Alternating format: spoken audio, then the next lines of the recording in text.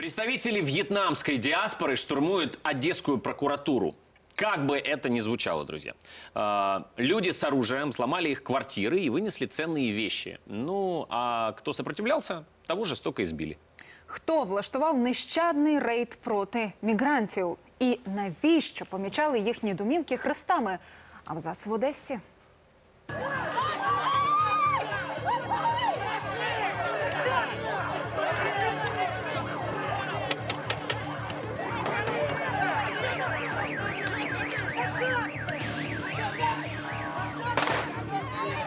Потасовкой и стрельбой начался обычный день во вьетнамском квартале Одессы. Неизвестные в камуфляже ворвались в квартиры вьетнамцев и начали их обыскивать, а потом еще и выносить все ценные вещи. Тех, кто сопротивлялся, жестоко били дубинками и отпугивали оружием.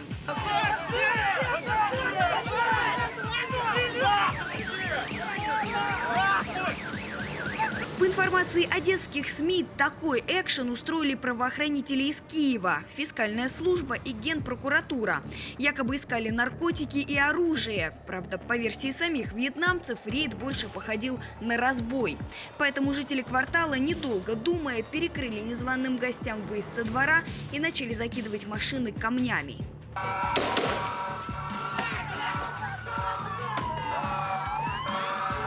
итоге вьетнамцы заблокировали целую улицу, но задержать спецназ, якобы ограбивший их квартиры, им не удалось. Люди тут же отправились искать помощи у Саакашвили. Михаил Са- Саакашвили, прошу оказать помощь, чтобы мы, спокойно жили. Мы хотим любим Одессу, но это беспредел. Вместо губернатора к покалеченным вышла его советник. Оказалось, областная администрация о рейде ни сном, ни духом. Дивіться, е, охрану усилят, е, заявы принимают. Я думаю, что в кратчайшие сроки э, мой голова попросит э, главу полиции, чтобы мы понимали четко, кто это был. Был это Киев, был это Одесса, э, какие-то там воры в законе, я не знаю, кто вас тут орудует. Я решила разобраться, кто же инициатор этого агрессивного рейда и куда смотрела полиция. предельной информации там были якобы определенные правоохранительные органы, какие именно мы не знаем. Поэтому ничего утверждать мы не можем. То есть э, приезжают определенные органы в камуфляже без опознавательных знаков, и официальные органы не знают, кто это. Э, Каждый правоохранительный орган может проводить, э, не уведомляя другие правоохранительные органы. Пока полиция Одесской области до конца не владеет информацией, мы не можем ничего утверждать. Интересненько. Тем временем киевские органы от любых комментариев отказываются. А что об этом думают сами вьетнамцы? Кстати, многие из пострадавших вполне законные граждане Украины с паспортами и пропиской. Например, Хуанг Хай уже 30 лет живет в Украине и такой беспредел видит впервые. Сколько лет? 4 тысячи. Тут. Мы здесь вырос. Только 40 тысяч. Это хочет жить. Не может. Сейчас уже не может. Мы, по-моему, завтра надо улетать домой. Все. Потому что тут боится. Совсем боится.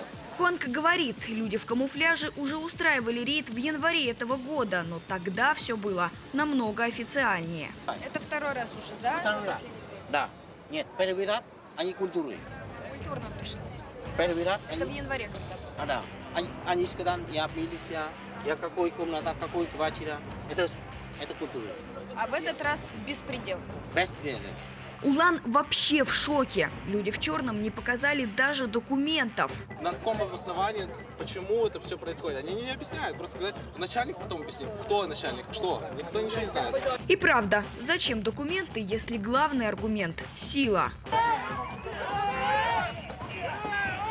Была женщина и мужчина, они не хотели открывать дверь, потому что не знали, они не представлялись, выломили дверь, дали по лицу, просто женщины тоже забрали деньги и уехали. Что же на самом деле произошло во вьетнамском квартале? Еду разбираться прямо на место.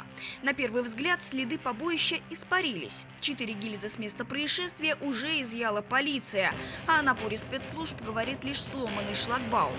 Но это только снаружи. Вы только посмотрите, что творится внутри. Водопровод. То есть в водопроводе искали деньги. Да, канализация.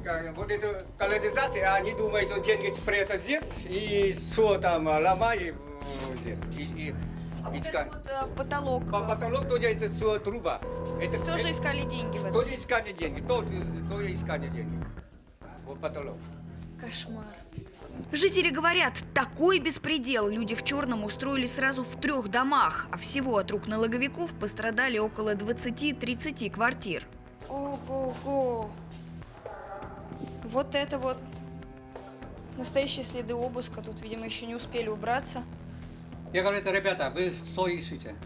Они ищут это наркотики, они ищут это оружие, они ищут это э, взрывчатые вещества. Но вот что странно, неизвестные в черном забирали вовсе не наркотики, а айфоны, планшеты, деньги, элитный алкоголь и золото. Золото мне и вот это кам, это мама, папа, и это там Вьетнам. Они мне подарили все равно. И Все, что подарили мамы с папой, золото все Вьетнам, забрали. все золото Вьетнам.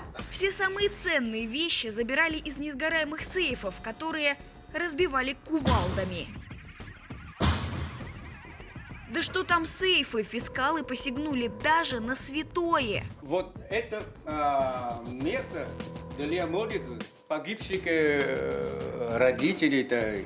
И по нашему тради- традиции мы выкладываем деньги туда, и накопили деньги туда, и они тоже забрали. Все добро спецназ конфисковал под прикрытием, планомерно уничтожая любую видеосъемку. Люди в масках забирали все из квартир, выламывали камеры наблюдения и буквально на каждом этаже могли обчистить одну, две, а то и три квартиры. Многие квартиры отмечали вот такими красными крестами. Это значило, что в этой их квартире обязательно есть деньги и туда обязательно нужно зайти. Но пострадало не только имущество.